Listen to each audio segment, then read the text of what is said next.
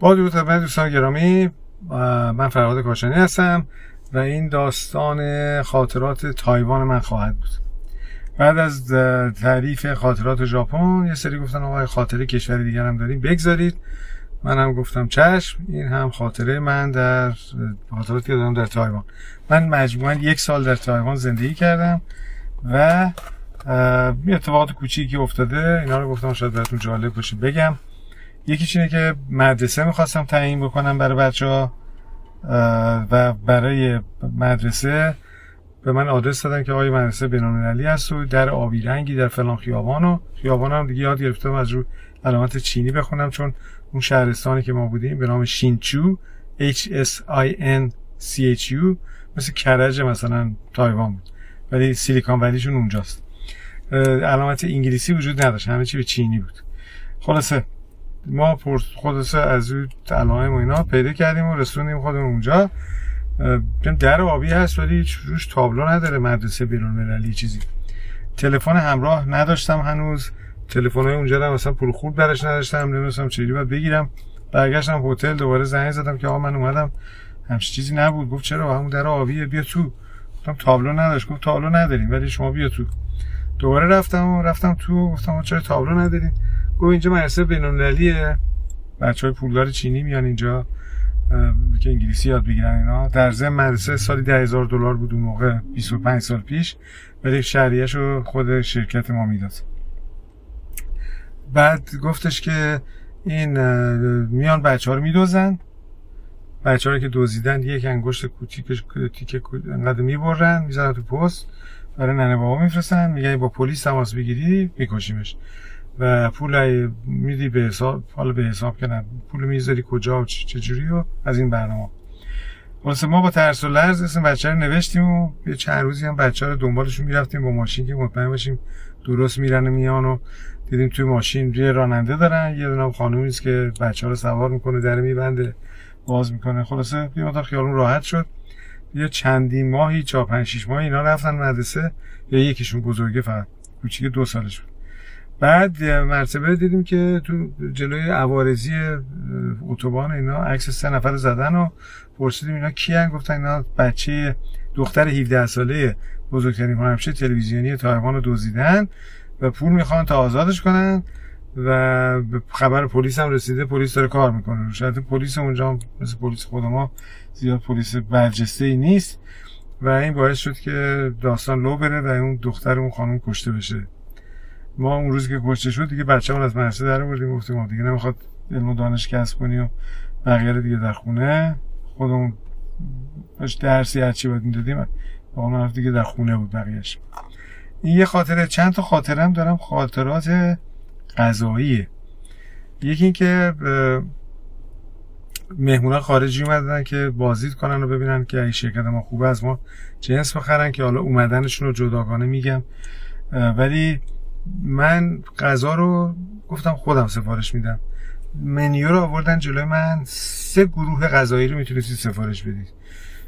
گوشت ماهی و سبزی فلان و چی چی فلان. غذاشون یه مدل دو مدل نیست. یه هفتش تا چیز باید بخورن. خلاص از هر کدوم یه ذره. خلاص یا شماره یک هم داشتی یا شماره دو مثلا خرچنگ بود و چی چی چی چی, چی یا شماره سه مثلا یه چیزای ساعته من حد زدم که اگه ارزون ترین رو بردارم بهترینه برای اینکه هر چی غذاها عجیب و غریب تر میشه قیمتش هم بالاتر میره. و من حس می‌زدم که این کارمندای ما هر دفعه برای اینکه خودشون غذا عجیب غریبا رو بخورن فکر دیگه مهمانا رو نمی‌کنن. بهترین ها رو سفارش میدن. من ارزون ترین سفارش دادم. یه ذره اینا نگاه کردم به نظرشون عجیب غریب میاد ولی ارزون سفارش دادم. وقتی غذا رو انجام شد و همه خوردن اینا این مهمانان خارجی به ما گفتن که آقا این غذای شما نمی‌دونم چی بود ولی بیشترش خوردنی بود برای ما. چون دفعات قبل که میمدیم تقریبا همش هیچ چیز خوردنی نبود. نمی‌تونستیم بخوریم. چیکار؟ چه کلکی زدی؟ گفتم کلکش اینه که ارزون ترین غذا رو برشتن که دیگه چیز عجیب غریب توش نباشه. چون تو اون عجیب چیزای عجیب و غریب دیگه انواع ماهیایی که ندیدین تو کره زمین وجود نداره و یه رنگایی به خصوص اینا. ولی گفتم بگم که ج چینی ها کلا تمام ممالک چین. همه چیز می‌خورن. یعنی هیچ استثنا نداره. این حلال حروم فقط کلیمی ها و مسلمان ها برای خودمون ساختیم که اینو باید بخوری اینجوری بشی. اون حالا کلیمی رو بگی همشون آدمای موفق و اینا هستن لابد حلال حروم خوردن باعث شده که موفق بشن. ولی مسلمان ها که می‌دونید ناموفق ترین افراد کره زمین هستن و حلال حروم هم رعایت می‌کنن مثلا. بنابراین به این نیست. و چینی ها که اصلا حلال حروم ندارن. موفق ترین مردم دنیا هستن الان. دیدی که از امریکا هم تقریبا میشه به نظر من الان جلوترن از امریکا. بنابراین اینم داستان حلال حروم مثلا عادت. هندیه گاو براش مقدس نمی‌خوره. ببینید شما داری گوشت گاو می‌خوری براش عجیبه. مثل که مثلا شما یه نفر ببینید داره گوشت سگ می‌خوره. به همون اندازه عجیبه که اون داره گوشت گاو می‌خوره. بنابراین همش مسئله عادت. یه جایی از امریکای جنوبی شیر نمی‌خورن به عنوان ترشحات حیوان محسوب میشه. نمی‌دونم هر جا یه چیزای قوانینی برای خودشون درست کردن و اجرا می‌کنن. غذاهای کلیمی نه تنها گوشتش باید به طریق کوشر اسمش از کوشر که مثلا زپ زپ اونا که مال ما از اونا تقلید شده بهش میگن کوشر. نه تنها اون بادوم و لوبیا و نخودم مارک داره تو سوپرمارکت کوشر. یعنی که این از نظر کلیمی ها okay ه. حالا کوشر شدنش چجوریه؟ که دوستای ما که انبار مواد غذایی داره به صورت بزرگ میفروشه. میگه ما اومدیم وارد کار کلیمی ها بشیم. به ما گفتن باید کوشر باشه. خلاصه یه بابای کلیمی رو پول دادیم. مثلا خاخام کلیمی اومد و اومد تو انبار ما و یه دستی اینجوری کرد و یه دعای خون. گفت اینجا همش کوشره میتونیش بزنی برند کوشر و بعد دیگه سال بعد دیگه نمیمد می‌گفت این تلفن همراه رو ببر تو اونجا نگرد من از پشت تلفن وردو می‌خونم. همه جنسات کوشر میشه. اینه که اینم از این داستانه. کوشر شدن چیز غذایی. یه بارم رفته بودیم با رئیسم از امریکا آمده بود و با دو تا امریکایی دیگه رفتیم رستوران ناشی هر چهار ناشی بودیم. چی بخوریم؟ هر کس یه چیزی به نظرش خوب اومد سفارش داد. من گفتم من خیار دریایی سفارش بدم برای بالاخره خیار دیگه حالا. گیاه میشه خوردش. وقتی آورد یه خیار دو تام چشم اینقدی. روش داره فهمیدیم که نخیر چیز دیگه است. ماهیه. خلاصه هیچی. شرط بندی که من گفتم آقا من 100 دلار میدم. هر کسی یه گاز از این بتونه بخوره. و هیچ کسی اصلا نگاه نکرد و انجام نشد. یه مسئله دیگه باز چیز غذایی رفتم یه روز شیر بخرم برای بچه ها دیدم تاریخ من رو شیر سال چهل و چنده. دیدم سال چهل و چند الان 1900 مثلا 97 این شیره مال 1930 سال پیش یعنی خلاصه اومدیم بعدا از این کارمندان پرسیدیم گفتن آقا ما چینی ها هر دفعه حکومت عوض شده تاریخ رو از اول شروع کنیم شمردن. چون ماوتسه که 1947 یا 49 انقلاب فرنگی کرد و سیستم رو برانداخت و سیستم خودش رو جا انداخت و در همزمان چیان کایشک هم رفت تایوان دولت تایوان رو انداخت. اینا سالشون موقع چهل و خورده بود. البته برای مکالمات خارجی و اینا همون سال میلادی رو استفاده می‌کنن. جالب که من تو دو سال دو ماهی که تو هتل باید میموندم من قبلا هر وقت تایوان می‌رفتم هوا همیشه آفتابی بود. تا رفتیم بمونیم اصلا دو ماه فقط ابر بود. ماه دسامبر و ژانویه. و من متوجه شدم مثل من دفعات قبل شانسی همیشه موقع خوب می‌رفتم هوا عالی بوده. الان که این موقع اومدم اصلا هوا افتضاح.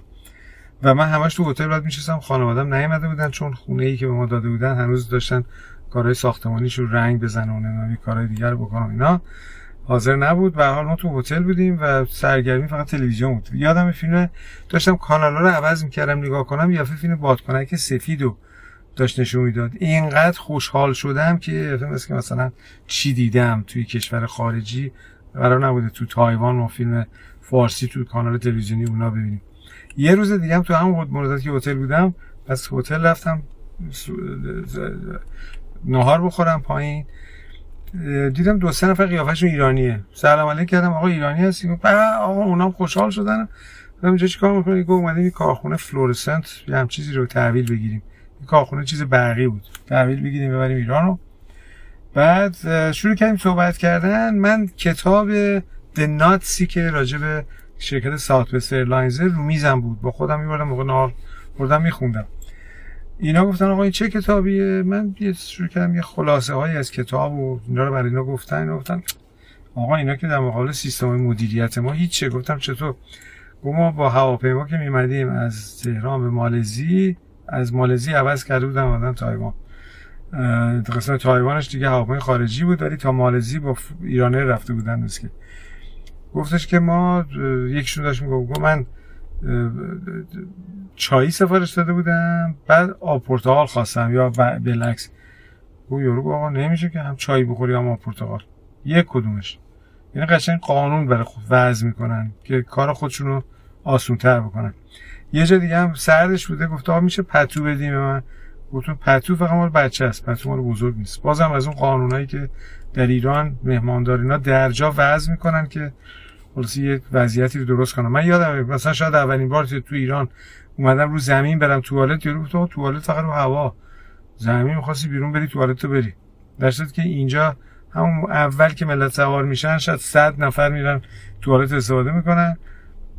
راحت تر براشون. قبل از که بخوام بشینن آخرین توالت رفته باشن.